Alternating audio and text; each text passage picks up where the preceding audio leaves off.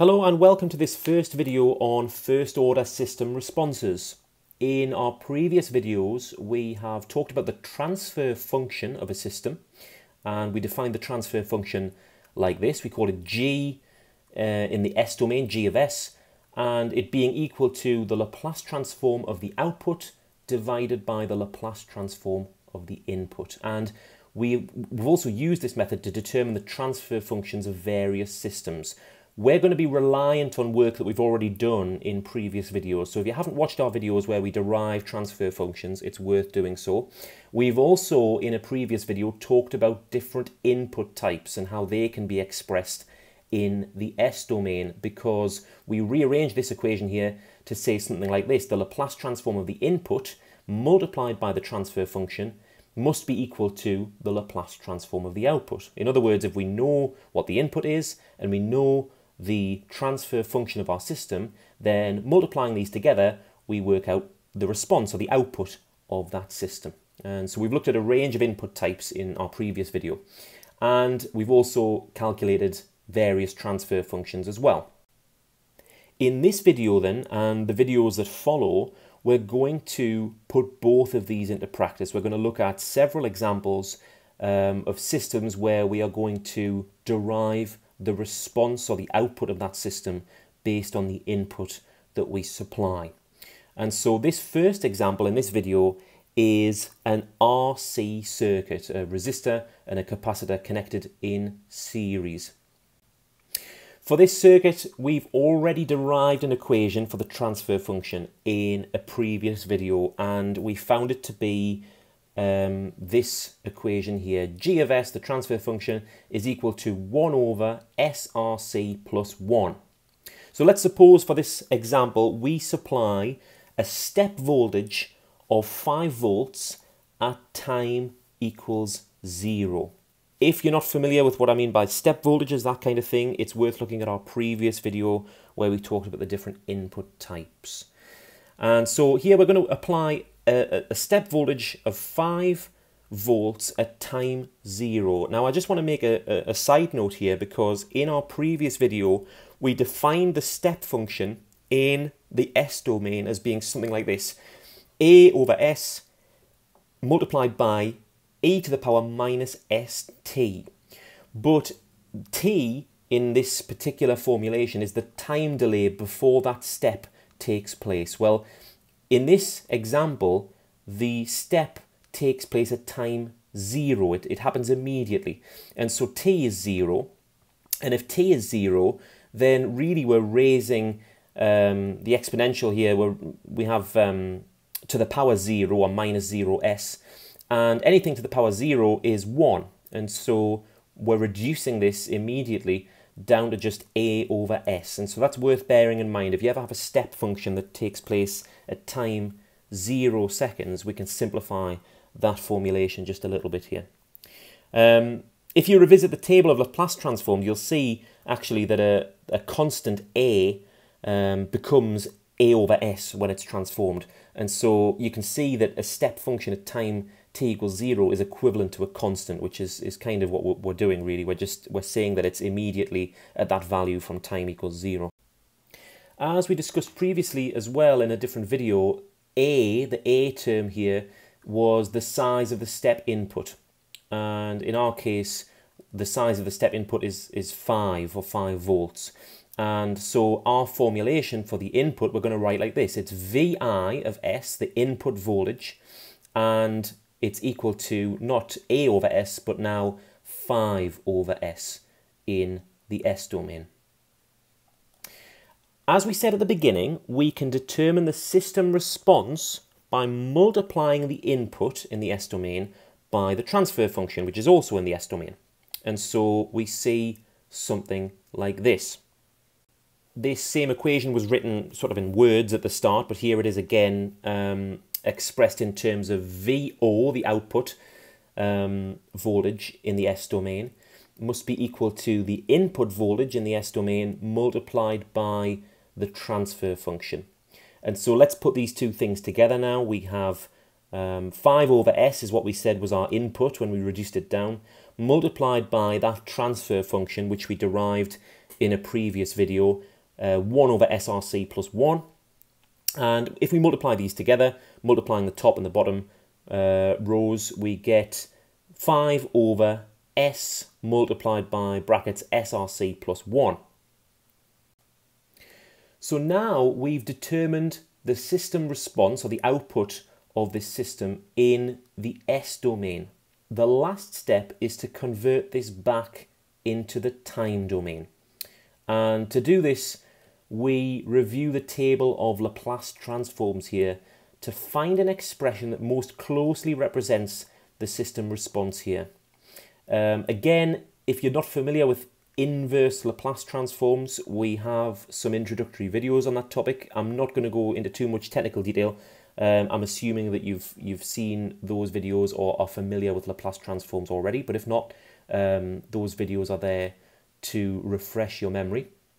But if we review the table of Laplace transforms here, we see that the closest entry in the table that corresponds with our output function that we've derived here is an entry that looks like this one here for exponential growth.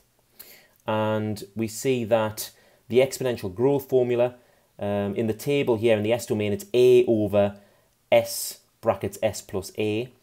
The inverse transform of that would take us back to something that looks like this, 1 minus e to the power minus at. Now, our system response doesn't quite correspond with the function in the table, and we're going to have to make a few adjustments. So firstly, if you look at this coefficient of 5 as a numerator of our fraction here, we've got 5 on the top, um, we're allowed to take this outside of the fraction instead. And so what I'm going to do is something that looks like this. We've got now V O of S rather than 5 over, I've got 5 off to the side here multiplied by 1 over S brackets SRC plus 1. Now the reason I've done this is because when I'm looking at the entry in the table here, I can see that these two A values are obviously consistent. They're both A. Uh, A on the top here and S plus A on the bottom. Now in our formulation here, we have 5 on the top, we have plus 1 in the bracket there. So those don't match. I want these to be consistent. And so the easiest way to do that is just to cheat a little bit and take that 5 outside of the fraction that we're going to perform the inverse transform on. And now we've got 1 on the top and 1 in the bracket there. We're being a bit more consistent. Now, 1 is not the final result um, for these this value of a. We're going to do a, a couple more things here because if you look back at the entry in the table, you can see that the s term in the bracket here has no coefficient. It's s plus a. It's not 2s plus a or anything s plus a. And we have a bit of a problem here because in our function, the s in our bracket is multiplied by rc. Now, the solution here is to divide all the terms in our function, top and bottom, by rc. And so we're going to get something that looks like this. I've divided um, by rc, and so now I've just have s here, but that 1 had to be divided by RC, and the same on the top, the 1 had to be divided by RC as well. And so this result looks a little bit messy, but now let's compare this to, to the, the function in the table here because we see that what we call A in the table corresponds with what we have as 1 over RC. Not forgetting that our function's been multiplied by 5, but we took that outside of the fraction. Um, our result when we apply the inverse Laplace transform um, to convert this back into the time domain, let's use the um, Laplace transform notation there. We're going to apply the inverse Laplace transform just to that um, that that fraction only. The the five being a constant, we can leave outside um, the the the inverse transform here. And so when we perform that inverse transform, we're going to see something that looks like this. And the reason being, we had in our table here 1 minus e to the power minus at. Well, a we've said is 1 over rc, or equivalent to when we when we compare the two entries with um, uh, the entry in the table with the entry that we have. Um, and then t is our um, variable here. And so simplifying that, we could say minus 1 over t uh, sorry, minus 1 over rc times t, but we could simplify that a little bit into the form of e to the power minus t over rc. So this is our system response in the time domain, which completes this example. So let's just for illustration's sake, let's suppose that this resistor had a value of uh, 1,800 ohms or 1.8 kilo ohms and the capacitor had a value of 470 microfarads. We can now calculate the output voltage over time and we see the following response, something that looks like this. Now what we see here is to be expected really if we're familiar with our previous studies or with capacitors, it's the growth curve characteristic that we see when a capacitor charges. So we see that the output voltage increases quite rapidly at first and then it levels off as the output voltage approaches the step input height of 5 volts or the supply voltage. It approaches um, that supply voltage. So this is the case for a step input, um, but won't be the case for other input types. The advantage of having found the transfer function and derived that in a previous video is that we can easily determine the different system responses that would occur for different input types that apply um, using the same method. And one other thing to mention here is that if you've come across the, the growth function for a capacitor before, you might have seen the growth curve equation um, for a circuit like this expressed in this form where the, the output voltage in the time domain is equal to the supply voltage multiplied by, in brackets, 1 minus e to the power minus t over tau.